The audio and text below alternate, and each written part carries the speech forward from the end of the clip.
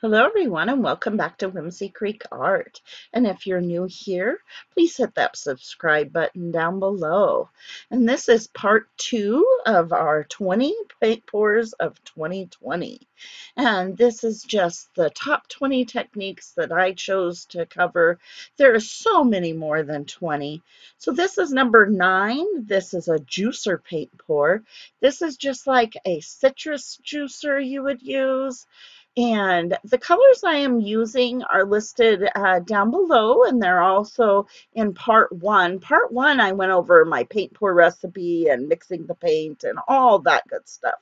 Part two, we're just going to get right into it. All right, so I have a few of these blues that I have, and this is Master Touch paint. And I am just going around this citrus, um, and I do have this propped up on a cup and it is on a 6 by 6 inch ceramic tile.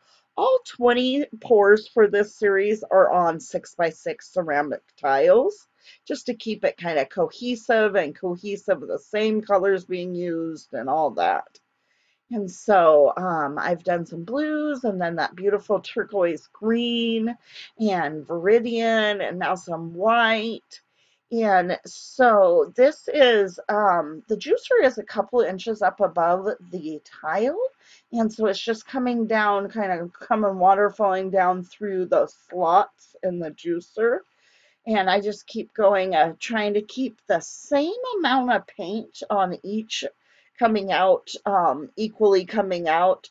If I feel a part is kind of a thinner area, I go back and get a little bit more of that same color on that area and so um, now I'm going to go ahead and grab this off. You have to have a landing spot. Make sure you try not to drip and just confidently hurry up and grab and take it away. And then pull that cup out of that center as well. And then as you start tipping it and tilting this, yet that center will go ahead and just fill up. So don't worry about that right now. And notice I have my fingers here at each corner and I'm kind of just helping it get to the edge. And then I'm helping and I'm just going around. I'm not as I normally do my tilting. Uh, if you've seen the first video, I normally would tilt and then pull back to center. Tilt, pull back to center. I am just going to each of the four corners, tilting it to one corner, tilting it to the next corner, tilting it to the next corner. And that created this real neat kind of starburst effect in the center. All right, so that was number nine for our top 20 of 2020 paint pours.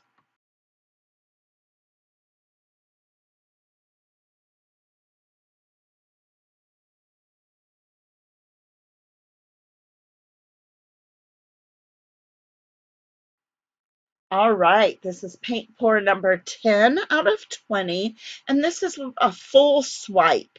And so we're going to do just one swipe across the entire surface, being a full swipe. And I'm just taking the paint and layering kind of stripes down. Each of my colors do have silicone. They each have only two drops of treadmill oil in them. And video number one has more about that. Uh, I'm just taking each of the kind of the rainbow colors, not in rainbow order, of course, but the color, a bunch of rainbow colors, bright colors, and I'm laying them down. And then I'm going to swipe them with the violet, the purple color, and it does have silicone as well. And I just use uh, copy paper or printer paper, some thin paper, and I lay it across the surface there and then I gently kind of just let it uh, glide across the top. I don't really push. I try to keep the paper somewhat vertical and laying kind of right across the top. I don't try to pull it up too horizontal from the surface. I just try to pull the paper real gently across the surface, pulling that purple over the top of each of these colors here. And this is a full swipe. You can do swipes in so many various ways. All right, so it didn't get the edges there. And yeah, you know, that's not a big deal. I'm going to tilt it a little bit and we'll lose some of that um, the edge that isn't got anything on it, we're going to lose that here. We're going to tilt it right off the edge. So it's really not a big deal. And we're also tilting and kind of stretching out those cells. And then we're going to go ahead and torch it. And when we torch it, it'll kind of give it a few more cells, but the swipe technique creates cells just right away. All right, I'm going to grab my palette knife and I am just going to kind of help this corner, kind of help this edge a little bit. And so right away it looks like it's kind of looks funky on the edge. Well, as the cells pop up and the paint kind of moves around, then you won't see that corner won't look quite as uh, different as the other. So I'm going ahead and torching it. This is a creme brulee torch or a chef's torch.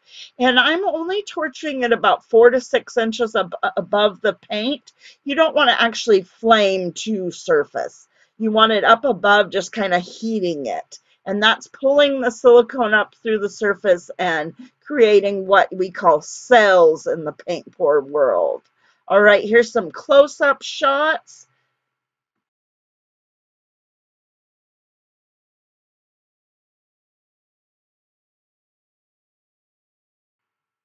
All right, paint pour number 11, a shovel paint pour.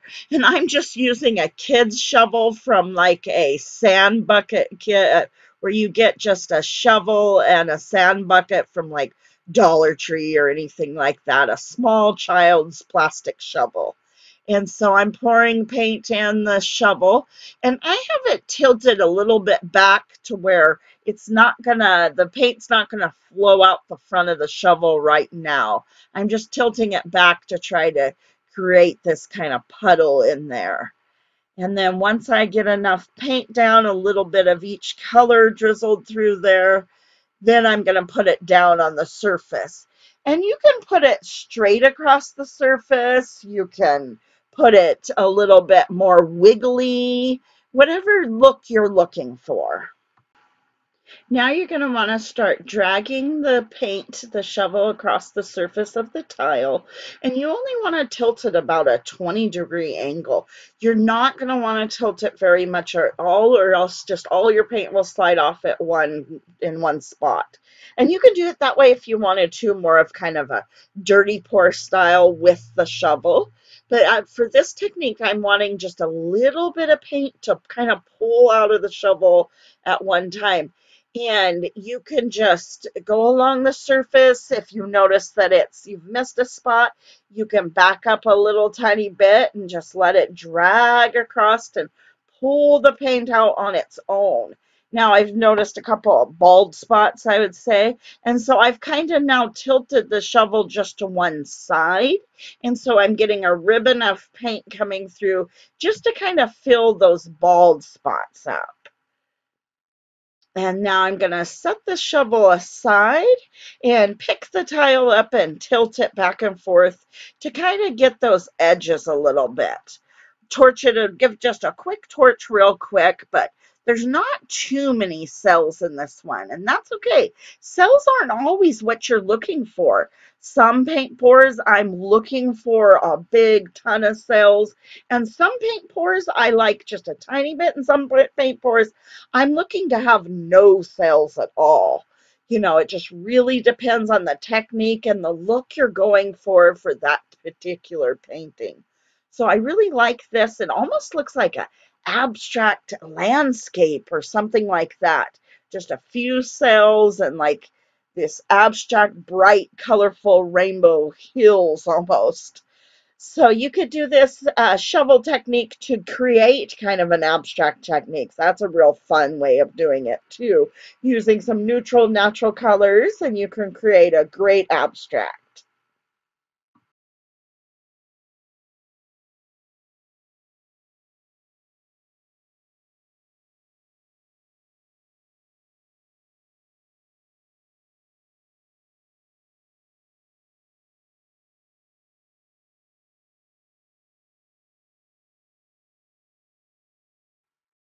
All right, for paint pour number 12 out of 20, we're going to do a wrecked puddle pour. And so for this particular technique, I personally don't think it looks best with silicone. I think it looks best without silicone. So what I've done is I'm taking the colors that I have the least amount of silicone in. So there is a little bit of silicone in here, but very, very little in these colors. And so I'm taking some of the pastel colors, the lighter colors, and that darker purple for kind of a contrasting color. And I'm randomly layering them together. And if you notice, I'm kind of doing it at random, not putting the same colors in. I'm not just doing five puddles of dark purple, then five puddles of light purple on it. I'm kind of doing it with a randomness.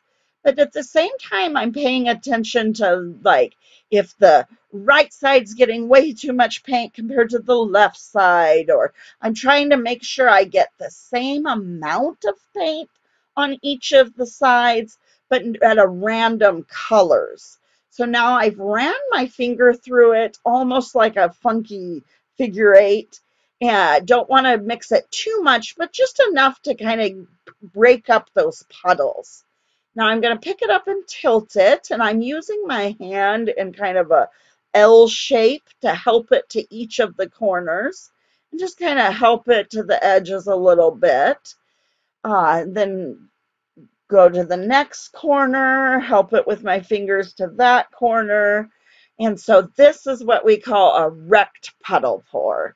And see how it's, it just looks best without cells. I am getting a few cells, but no biggie. Now I am not going to torch this one to try to alleviate the cells and not have as many cells.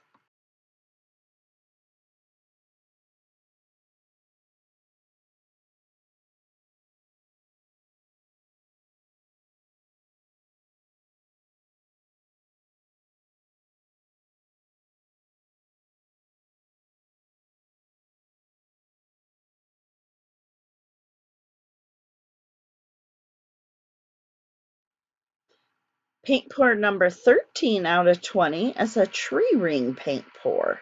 And this is again another one that looks best without cells. You're going to see I'm going to get quite a few cells, quite a few more than I really would like to have gotten because I do have a little bit of silicone in these cups. And so I, what I'm doing is I am gently layering each color on top. So if you pour your paint into your your pouring cup at a high up high from the cup, you're going to get quite a bit of gravity is really going to pull those colors all the way through and you're not going to get definite layers of color in your cup. What on a tree ring paint pour, you want to try to keep your color, you want to try to keep layers, definite layers of each color.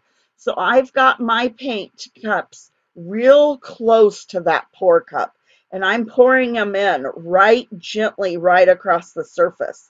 I'm not wanting to them to mix up at all. So now that I've got about um, about two, two and a half ounces for this six inch tile. Now I'm to gently pour it out. Now here you're to want to be patient. You don't want to really pour it out quickly. You're going to want to gently pour it out, all coming out at once.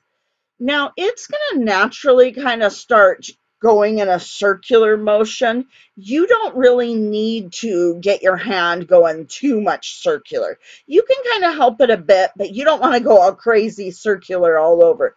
Now I have done that and that creates a whole different technique. And that's real pretty if you're trying to create like more of like a flower or a rose. But if you're going to try to create tree rings, you're just very gently letting it kind of just come out of there and it's just going in the center. You're not moving it around too much at all. And then that's the technique is called tree ring paint pour because it kind of gives you the effect of the rings of a tree would look.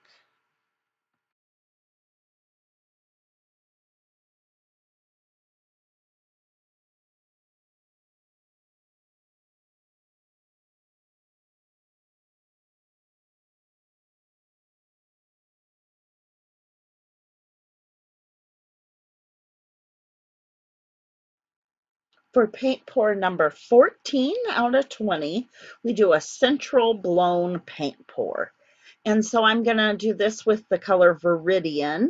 And so I've sped the tape up a little bit and I'm just covering the surface with some of that Viridian color. And this is going to have a little bit of negative space with that color.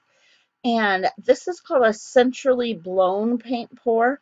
Uh, it it looks a little bit better on a larger surface, but I did want to share this technique. And so now we've got our base color all down, and then we're just going to put stripes across the center. And you can really, this is a central blown one, but you can do it any direction. You can do it in the corner. And it's a little bit different than a Dutch pour because I don't cover it with that base color and I'm not using a hair dryer. I'm going to use the uh, aquarium tubing. You can use a straw or anything like that. So I've got, I've got a little bit of paint of each color going down here.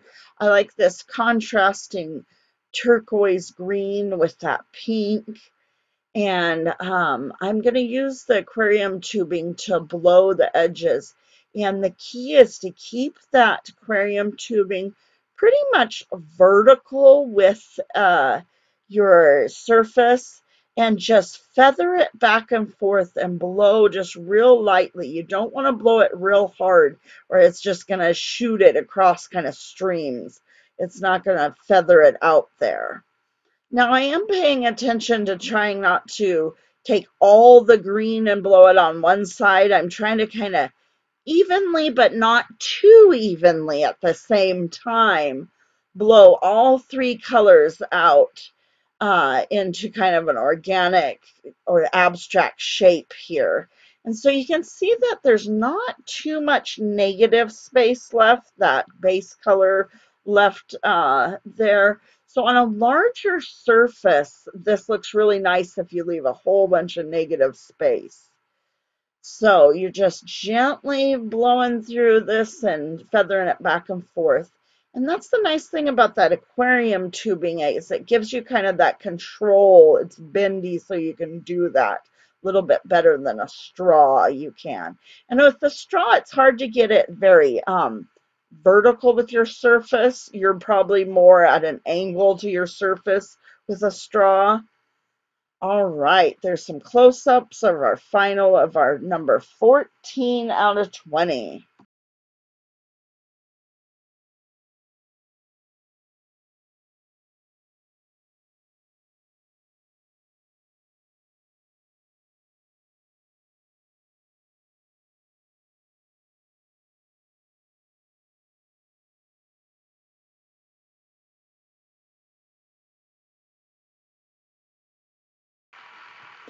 Paint pour 15 out of 20 is a dip paint pour. And this is one of my favorite techniques. So I've got just one of the plastic lids that come with these aluminum pans that I put my uh, tiles into. So I saved the plastic lids and I'm just pouring some paint into the plastic lid here. And this is one of my favorite techniques. It's a real fun, uh, basic beginner technique but it really creates a beautiful uh, effect here on the tile. The cells are just beautiful. So I'm just getting enough paint down, trying to kind of keep it about the size of a tile. And it, the good thing is it is a clear plastic lid and I have a tile down below it. So I can actually see how big I need to make it. Roughly about this, how big, because once you squish the tile, flip it over and squish it in, it'll it, the paint will squish down and be the size. So you want it roughly the size of your tile. And so you can just pick up the tile and squish it down into that surface. Now it is going to be slippery.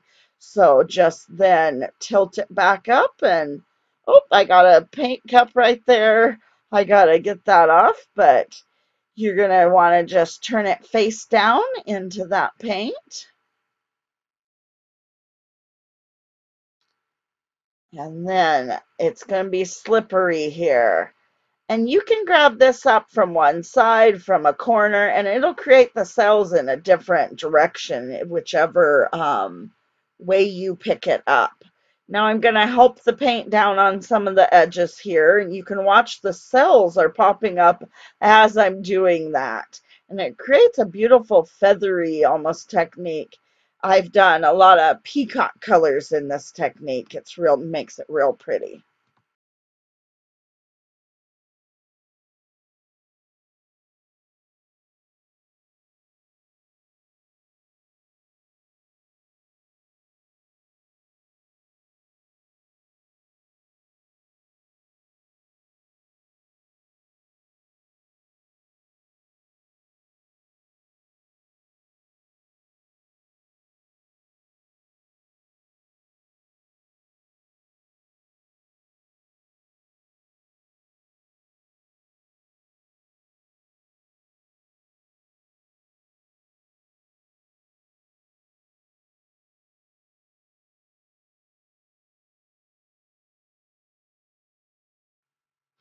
Paint pour number 16 out of 20 is a kiss paint pour. And so for this paint pour, you're going to want to have two cups. And you're going to want to layer those colors in very carefully, kind of like you do on a tree ring paint pour, so they make definite layers. So you can see I'm kind of uh, pouring them in down the side. And you can see that I've got a couple of extra colors here. So I've got a couple of oranges.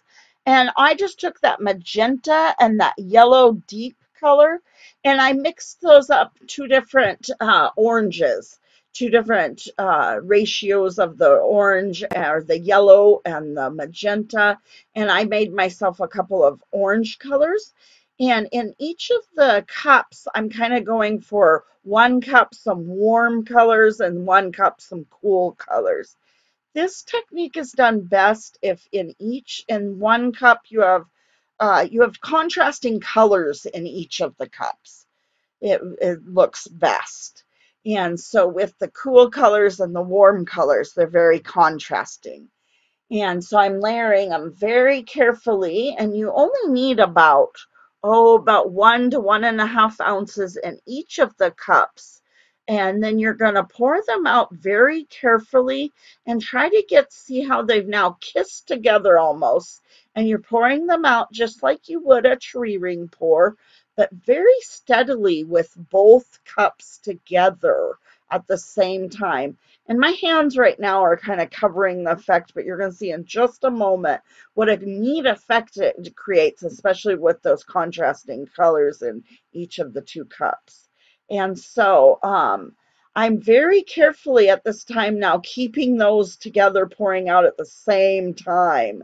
And then as it got to the end, I just pushed the cups together to keep them from dripping and pulled it away real quickly. Now I am pulling them to each of the corners, not really pulling it back to the center at all, like sometimes other techniques I've done, just pulling it to each of the corners real quick. And then you get this beautiful effect with the two different cups. And that is the kiss pour technique.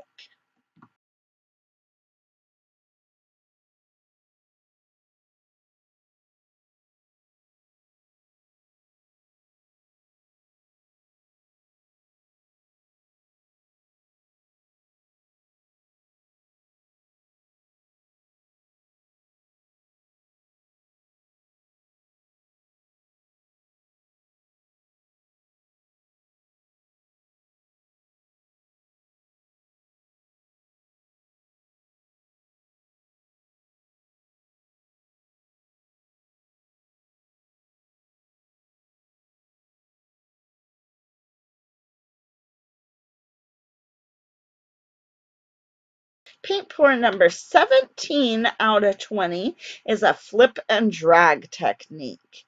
And so I'm just going to layer some colors here in this cup. And if you notice, I am reusing a cup. And I reuse my cups over and over again. That's perfectly fine. You can reuse your cups over and over again. And then after a thick layer of paint kind of gets in there, these plastic cups, you can kind of bend them and flex them a little bit and then pull the layers of paint right out of there. They'll it'll peel right off when it's dry. I don't wash them or anything. I let the paint dry in there and just keep reusing them till there's too much paint and then I peel that paint out of there. So whenever you can, please reuse and recycle your cups and all your paint pouring supplies. All right, so now I have filled that cup up um, about two thirds of the way. So I've got about two two ounces of paint in there. And now I'm going to lay down some of this lighter purple down on the surface.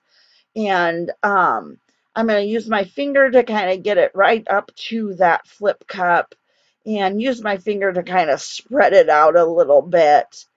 And then after I've got the purple all spread out on the tile, and it doesn't have to be perfect, I'm just going to spread it out a little bit here.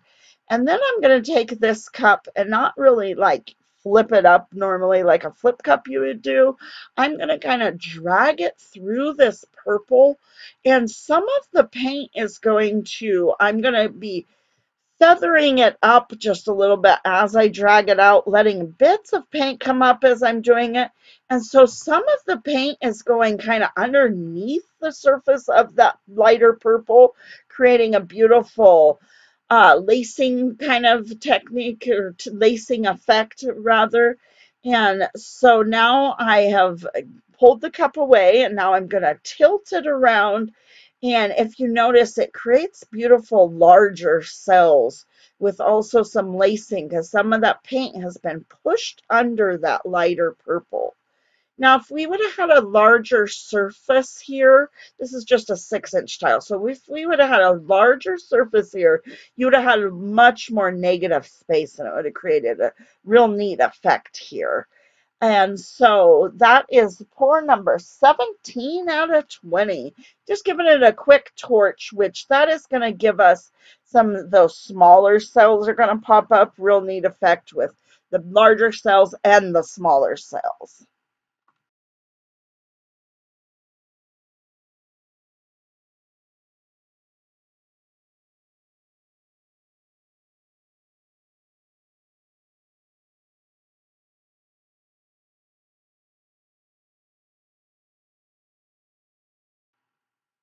Paint pour number 18 out of 20 is a string pull feather. Okay, you'll notice I've mixed up some paint in some smaller cups. That is because for a string pull feather, I prefer prefer to have zero silicone. And on those larger cups, I had already put silicone. So I mixed this paint just the way I have mixed the other paint. I have just not put any silicone in there. Zero silicone. And you'll notice there's this new kind of mauve purpley color. And that's by adding just a little bit of purple to some of the magenta. And so then I created this kind of new pink mauve color. So I'm laying, what I do is I have a little plastic, black plastic piece of, um, little piece of plastic here and I've put the paint down there, uh, uh, uh, kind of a line of paint. And now I have a piece of yarn, just regular old yarn. Now you can use uh, all kinds of different string depending on the effect you're wanting. You can even use chain. But right here I'm using regular old yarn you would use to crochet or knit cotton yarn and just cheapo yarn. And so I have laid that length of yarn down into these uh, purples and pinks. Now off camera before here, I have put a layer of white down. So I have a layer of white on the tile, and now I'm taking that yarn and I am, it's soaked in the different colors. I'm laying it across, kind of diagonally across the tile, but also kind of at a curve too. You don't want it straight. Feathers aren't exactly usually perfectly straight. Now you're going to pull the top edge of that yarn straight vertically down across the um, surface one direction. Now I'm going to lay it back down in this paint and I'm going to lay it on the other side now, trying to somewhat get the same colors here on the yarn at the same spots. You'll notice I kind of squeegeed the excess paint off after the first dip. Now I'm doing the second one, laying it just right along the edge of that first one I did. Somewhat trying to get the paint colors lined up, but they don't have to be perfect. I'm going to grab that same uh, one end and I'm pulling this, I'm keeping this very, very vertical to the tile. Now, I know you've heard me say this many times, do it vertical to the tile. That really creates a, a more feathery surface across it. All right, so I use Floetrol for my pouring medium, so you'll notice I am getting the cells anyways. I really didn't want a ton of cells, but they're going to automatically come out just because Floetrol kind of does that. So now I dipped the end of the yarn in the darker purple and just drug that down the center to create more of that feather look. Now this top, I'm just kind of pulling that purple up just a little bit slightly, creating it kind of that feathery look. Now I'm noticing here we have kind of a little bit of a gap, but if I pull this purple down into that center line of purple, it makes it more of a natural feather look. It's hard to see here on the wider shot, but when a close up, you can kind of see a little bit better where I pulled that into the center here. And so this is a string pull feather. All right, please let me know if you have any questions.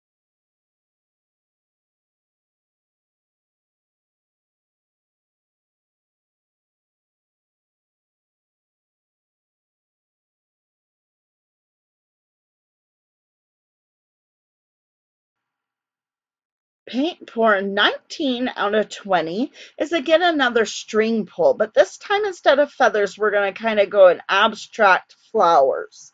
And again, I don't want any silicone in this at all.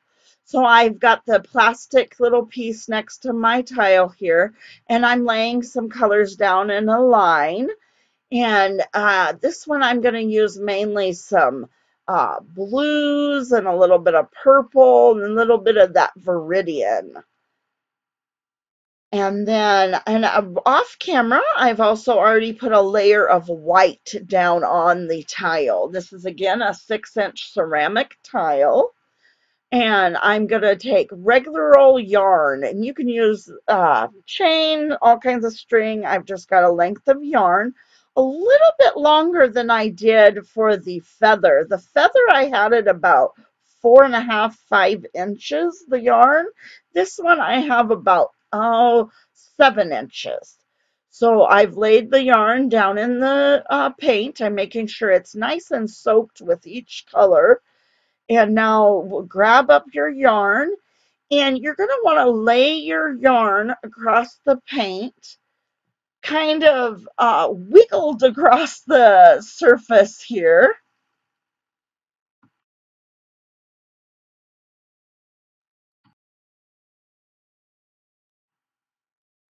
All right, you're just going to kind of loop it back and forth, back and forth here across the surface.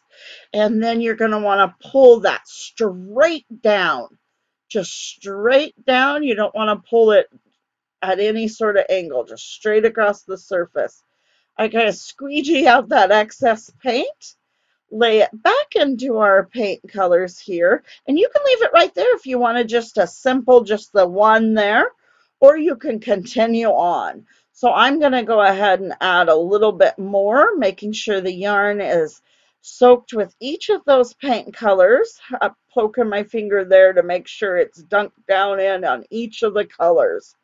Now I'm going to take that and I like how the top is. I'm going to get a little bit more of that same effect kind of across the bottom here now. And so I've got it looped back and forth, back and forth. Now I'm going to just pull that string straight, straight down. All right. And again, you can leave it just right there. You can leave it alone. Squeegee out the paint, all the excess paint there, quite a mess. And I'm going to go ahead and add a little bit more uh, on each side here. So notice I'm not putting as much, I'm not getting the whole length of the yarn uh, wet this time. I just need a little bit shorter piece here for the side. So I'm going to loop it back and forth, back and forth, just the same as I've done previously. And pull it just straight down just to create a kind of a smaller, shorter one there on the side. And then again, do the same thing for the left side, just dip a little bit smaller length of the ribbon or the yarn into the paint. You don't need all the yarn across the paint, just a short little bit of it. And dip it down there and get it nice and soaked again. And then go ahead here on the left side, I'm going to do just kind of a smaller little bit there. And this is creates kind of an abstract flower technique, a real pretty uh, minimal. I like the negative space. All that white is what we would call the negative space there. And all right, that is a string pull flower.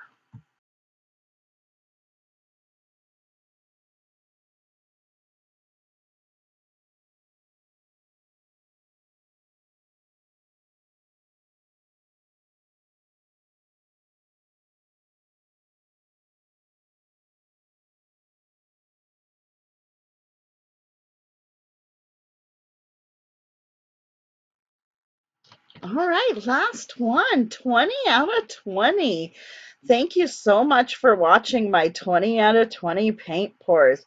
So what we have here is going to be another full swipe, but this time I'm going to kind of smash it with a balloon. And so in the prior full swipe, I had put uh, the paint down in stripes.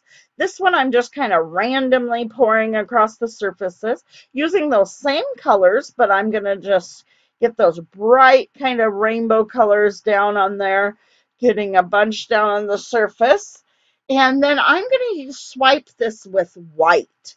And now my white does not have silicone in it. All the colors do have silicone. So I've got a nice good big stripe of white across there. And I went down the side just a little bit of the white. And I need just a little bit more paint to kind of fill in a few bald spots there on the edges. And then I'm just using regular old copy paper or printer paper, real lightweight paper. And I'm going to lay that printer paper into the white and just pull it across the surface real, real lightly. All right, now we ended up with a little bit of a line across there and a little bit of spot that wasn't swiped through. No biggie, we're going to get rid of that. Okay, we're going to torch it again with the chef's torch or creme brulee torch and go ahead and tilt it. So we're going to tilt that off a little bit where we didn't quite do that. And now the top had quite a little stripe of white. Well, I'm going to try to get this tilted down to get the just plain white out of there. So you're thinking right now, oh, there's not much, you know, showing up. Well, here in just a minute, all those bright colors are going to pop out through there. I've got just a regular old balloon, and I don't have it blown up where it's real tight. There's kind of some slack, some give to it. And I'm just lightly kind of kissing it across that surface. Well, when I kiss it across that surface, that color is popping right up out from under that white. And so this is where we do it called balloon smash. And now I'm pulling it off camera and I'm wiping the balloon off each time so it doesn't muddy these colors. I'm wiping it off clean and then I'm pushing it back in, trying to pull some of those colors up from underneath that white.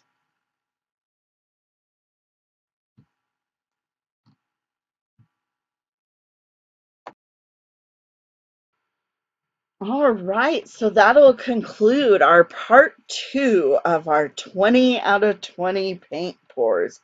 Thank you so much for watching. And if you have any questions, please let me know. I'm happy to answer any questions anybody might have. And I will be releasing this in two parts. This is part two. Then on Monday, I will be releasing a quicker version that will not have any of this tutorial talking bit.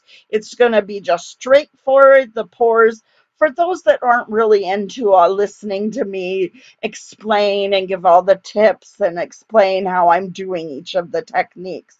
There will be on Monday a, um, not really a part three, but all 20 paint pours just really sped up really quickly and put to music.